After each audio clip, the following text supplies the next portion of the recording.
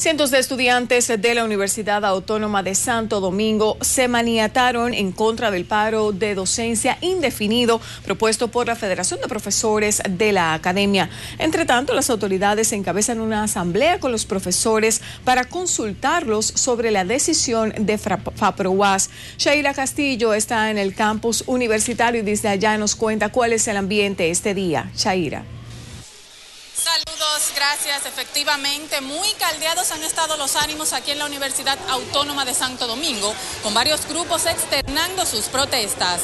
Cientos de estudiantes han advertido que no tiran un paro de docencia definido, el cual calificaron de criminal.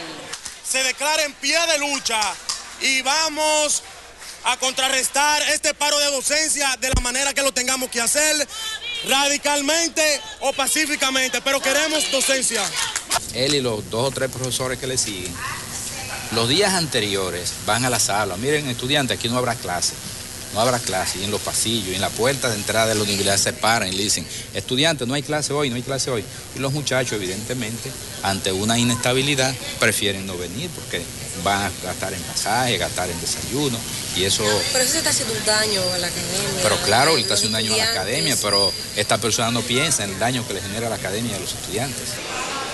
El rector de la UAS, Mateo Aquino Febrillet, convocó a una asamblea general todo el personal para consultar si están de acuerdo o no con este paro indefinido y externarles cuál es la situación financiera de la universidad. Esto da la información por el momento desde la Universidad Autónoma de Santo Domingo. Ahora vuelvo con ustedes al estudio.